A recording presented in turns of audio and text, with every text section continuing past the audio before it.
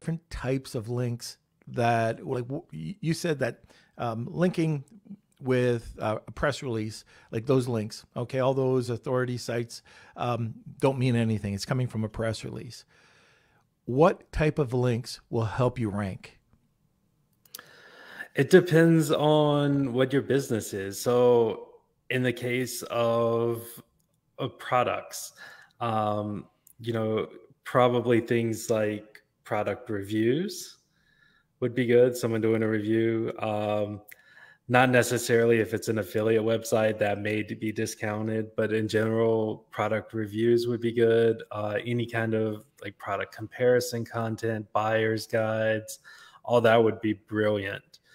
Uh, even little stuff like uh, you know, someone mentions your product on like a forum, you know, one of the things SEO say is forum links don't matter. Well, guess what? It's, it's if you spam the a lot of forum links and forum profile links and a bunch of stuff in your footer on forum uh, posts, then probably not. But if someone is like saying, "Oh yeah, like I bought this and it works really well," that probably counts for you. It should anyway. Like a a, a Yelp review. Could be. Yeah. I mean, yeah, and I like the idea about uh, buyer guides. So we we push a lot of gift guides. So you know, uh, Wirecutter, for example, uh, owned by the New York Times.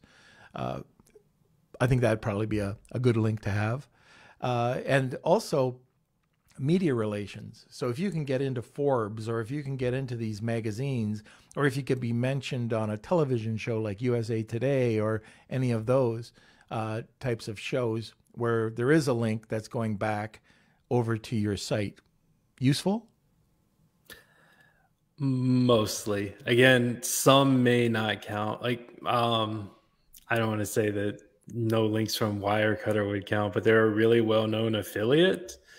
Um, mm. I don't know if the links would actually uh, count for Google for ranking because they they technically any affiliate links should be marked uh, either as sponsored links or no follow, which are supposed to basically be attributes that say don't pass any value to this.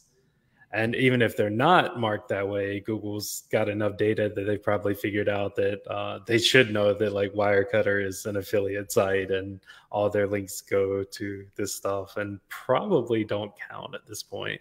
It's weird because like we we can't actually like prove that one way or another, but in theory that's the way their system should work now is is especially for a site like that that's so well known probably doesn't pass value.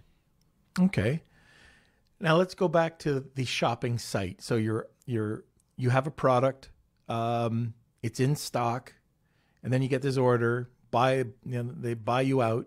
Now you're out of stock. Does that have any does that affect your seo at all? Is there something that you should do on the page yeah, and every e-commerce site is going to have to make these decisions. I'm actually not sure what Amazon does. I should try and find that out. I guess they just stopped showing the listing so no one really goes to it, but they still rank for things. So I don't know. I don't know exactly what they do. You might have to check that out. Yeah, they'll they'll um, suppress you until you have stock back. Okay, but uh, yeah, I wonder what they do for like Google and people that arrive from search engines. Uh, but but everyone's going to run into that at some point, especially during COVID. It's been crazy. There's so much stuff out of stock for everything, and every site's just going to have to make some decisions. Basically, is this even coming back? Do I want to keep the keep it at all? Uh, you know, maybe it's going to come back uh, a, a week from now. Maybe it's going to come back a year from now um, you just have to kind of write the way I always tell people is this is kind of business decision. You have to kind of write some rules for it. Think about like constraints, the timelines, and just come up with whatever rules make sense. But basically, if you're just if it's going to come back immediately, just leave the page alone. Period. If it's not coming back for a while, maybe you want to start thinking about uh, like doing something that adds other products they might be interested in. Uh, if it's if you know it's definitely not going to come back at all, you probably want to redirect it to like a similar product or category page, just because at that point that page is dead. you got a product that's never going to have stock, maybe has links to it. You kind of want to try and transfer that somewhere else to one of your other products that's similar. Uh, so so you just have to kind of figure out what you want to do based on you know if it's going to be there again or not. Okay, let's talk a bit more about uh, internal linking. So your thought. Lunch with the